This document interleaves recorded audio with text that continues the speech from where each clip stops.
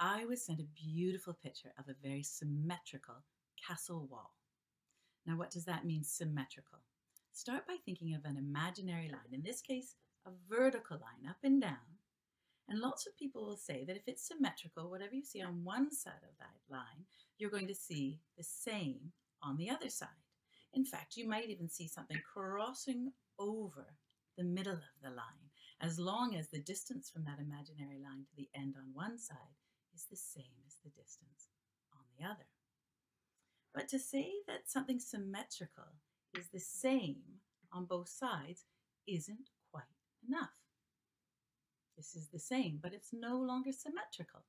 Instead, I want you to think about that center line splitting something open. Imagine that.